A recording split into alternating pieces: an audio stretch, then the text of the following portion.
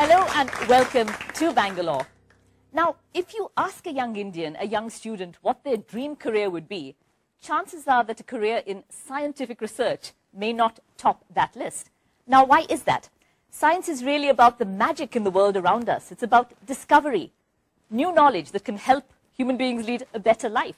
So why aren't careers in scientific research more attractive? And what can be done to make them more attractive for young Indians to actually follow? Well, joining us today to discuss this and make those suggestions is an excellent panel we're very lucky to have with us. Mr. S. Gopalakrishnan, he is trustee of Infosys Science Foundation and also executive vice chairman and co-founder of Infosys Limited.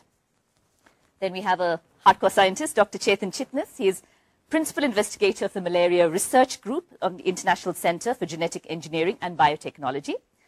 We have Professor Samir Kumar Brahmachari. He's Director General of the Council of Scientific and Industrial Research and Secretary in the Department of Scientific and Industrial Research in the Government of India. We also have Dr. Gopichand Katragadda, more known as Gopi, I think, who is Managing Director of GE India Technology Center. And joining us from New Delhi is Mr. Shashi Tharoor, Minister of State for Human Resource Development and Member of Parliament from Thiruvananthapuram. Well, thank you all of you for joining us at this stage today. Now, uh, Mr. Tharoor, if I could start with you in New Delhi. What is your perception of this? Is science a viable career option, really? Or does it make sense to get into something better paying and more glamorous?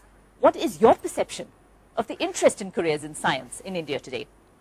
Well, it is becoming far more attractive than it used to be. Certainly in our middle class culture, which is where the bulk of graduate students in India come from, we are very much concerned with financial security. This has been deeply embedded in, in the culture of middle class India for a very long time.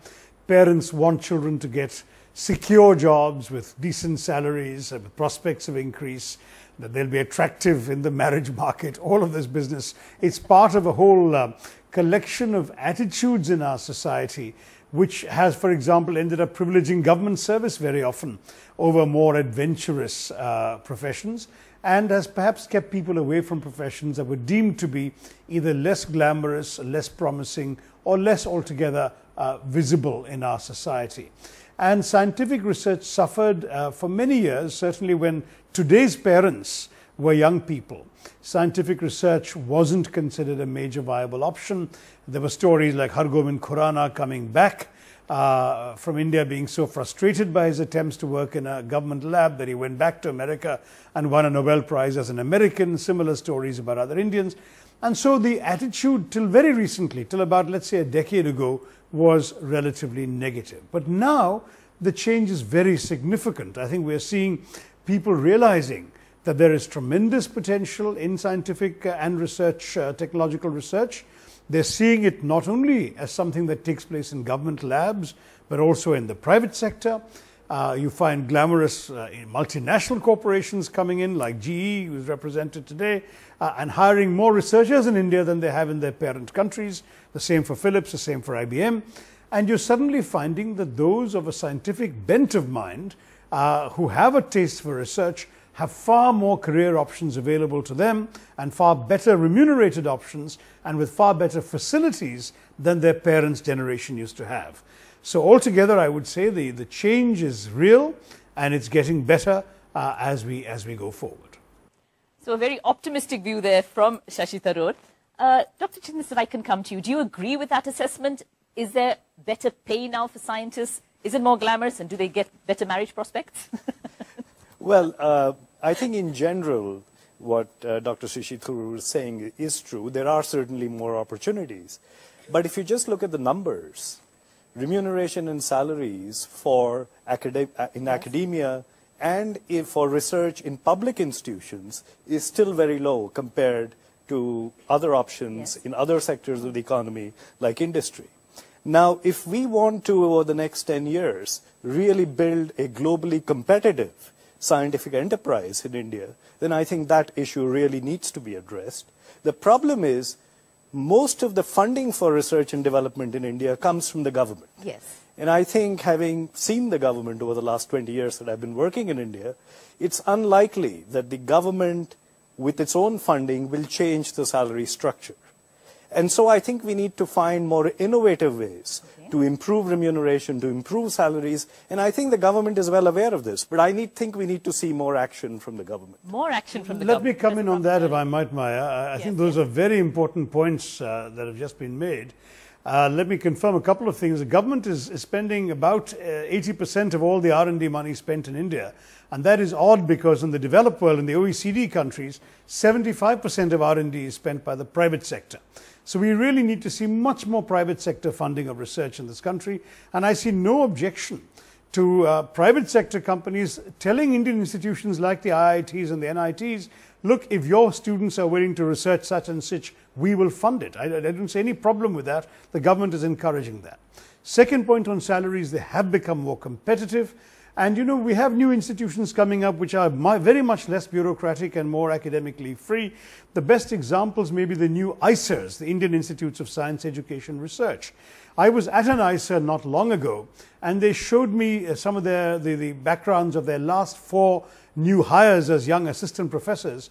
Every one of them either had a postdoctoral degree or a, a, a, teaching job in a prestigious Western university, Heidelberg, Harvard, Oxford, and so on. And they were all coming back to India because they wanted to be back in India since they were assured they were getting an environment in India where they could pursue their research. Mr. Gopalakrishnan, the private sector, emphasis has deep pockets. Can the private sector make a commitment to funding R&D, to funding research, not just projects which may earn money, but funding pure research? Would there be a commitment like that? Yes, and this is um, definitely increasing.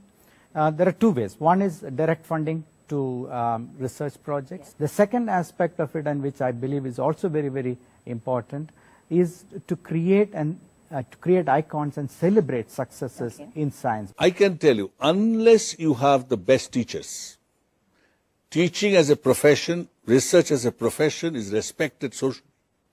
You know, 50s and 60s we could get when the clarion call of Nehru, the CSIR laboratories were built. Why? If you go and see a Times of India advertisement in the 1960s in marriage matrimonial, which you mentioned, it is to be a foreign service or scientist. Wow. Okay, You that, know that why? has changed. the reason is these are the only two people who had access to foreign goods. Speaking So of the daughters were given to scientists. I jokingly tell Professor C.N.R. Rao, Swaminathan, that you were scientists of those era. Today, why should a young man once comes to Infosys campus, he sees this beautiful place. Yes. He has a wonderful breakfast. Why should he come and join Indian Institute of Science canteen? Exactly. Mr. Gopalakrishnan, companies like Infosys, with your huge salaries, with your wonderful surroundings, are dragging people away from pure scientific research. So, see, the solution is not actually to reduce the salary in industry. then uh, we That, that wouldn't get the vote of your fellow Infosys people. no, but then we will actually reduce the standard of everything. What we need to do is look at how can we increase the salary on the other side, how can we bring private participation, as uh, Dr. Shashi Tharoor uh, talked about, how can we create a lot more research-based educational institutions? We have very, very few. You know, the IITs and the Institute of Science and maybe some of the NITs, but can we create more research-based education rather than educational institutions where uh, the, the teachers look at this as a factory? Their output is unfortunately counted in